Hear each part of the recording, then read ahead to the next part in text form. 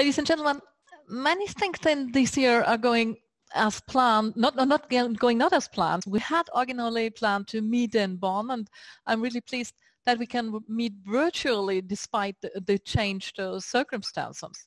The, the coronavirus pandemic has been dominating our political agenda for more than six months now and it poses really huge challenges for the world but there are also other crises requiring uh, immediate action, particularly the climate crisis.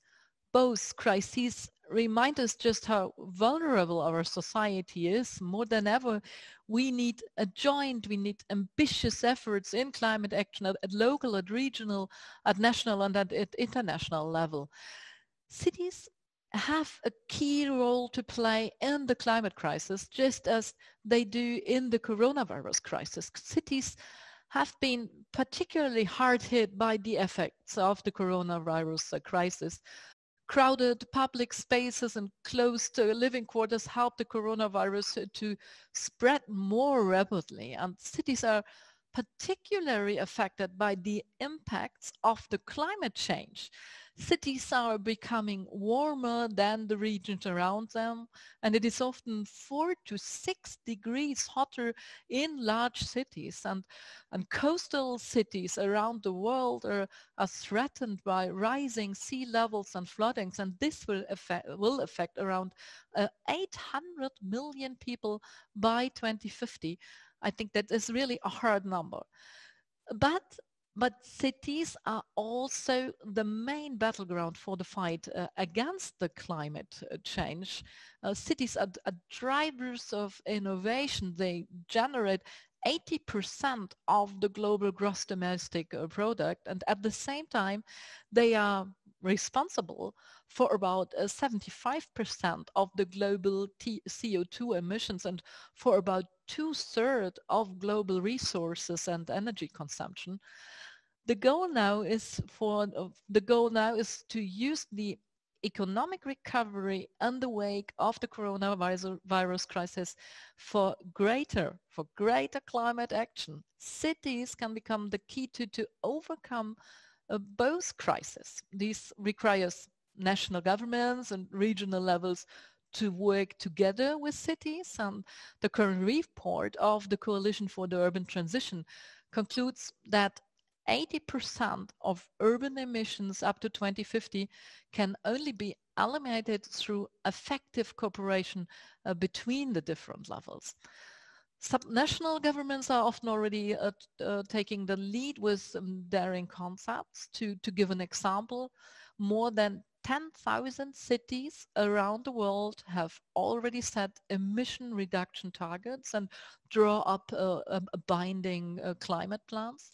They are promoting cycling, public transport and e-mobility and planning uh, climate-friendly uh, cities with, with more green uh, spaces in the cities. Cities need daring national governments that invest in, in climate-friendly and, and green recovery. In Germany, we, we are on the right track. Uh, firstly, the government uh, adopted the Climate Action Program 2030.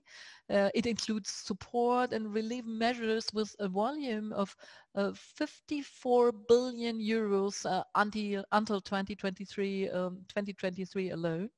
And secondly, the German government adopted a Climate Change Act, uh, which stipulates a commitment to climate action in all areas uh, of the economy and the society. And third, we have aligned our COVID-19 uh, economic recovery package with climate action. And we are focusing on the municipalities uh, in particular.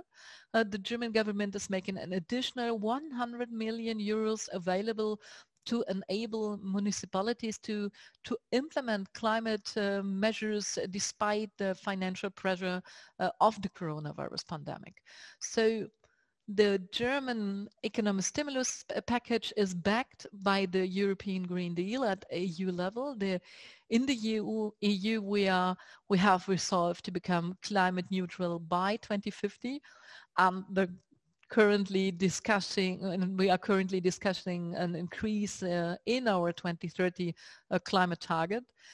this theme of the German uh, Council presidency, Together for Europe's Recovery, is, is driving the agenda. Europe must become stronger, fairer, and more sustainable.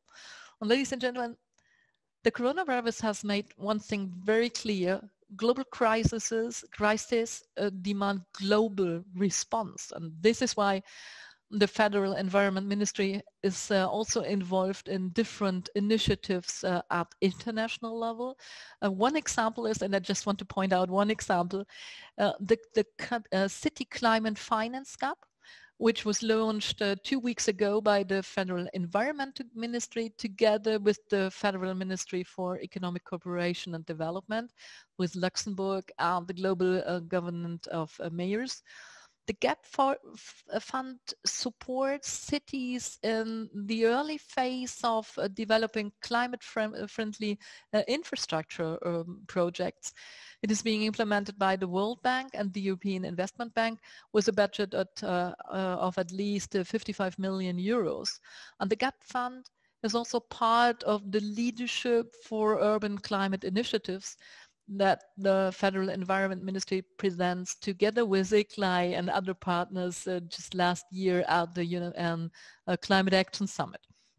The aim is to, to accelerate investments in climate action and uh, to dare and, and to dare to do more together in climate action. And this is a goal we share uh, with ICLEI, you know. So as ICLEI, you make an indispensable contribution to progress in climate action in cities around the world. And I'm very grateful for your remarkable work. And please continue to